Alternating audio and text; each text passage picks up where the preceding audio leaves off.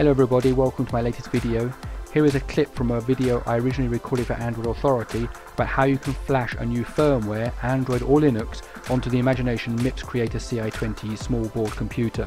All the links will be in the video description below, as well as some full instructions on how you can do this. I hope you enjoy the video. It's time to see what this board can do with Linux. I've downloaded and copied Linux onto an SD card and there are some instructions on how you flash a new operating system onto the machine. First of all, you've got to make sure the device is powered off and then we have to move these two jumpers here from positions 1, 2 to positions 2, 3. So I've just moved the jumper there like that.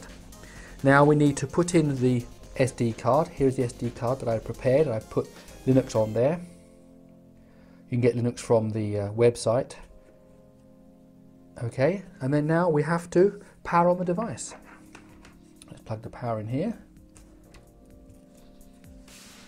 Right, now the fact that the light's gone blue tells us that the processor started to flash the internal memory with the Linux operating to copy the Linux operating system from that SD card onto the internal memory. This takes about 10 minutes, so we'll come back in a minute and see how it's doing. Okay, as we can see, the LED is now changed to red. That means the flashing process has finished.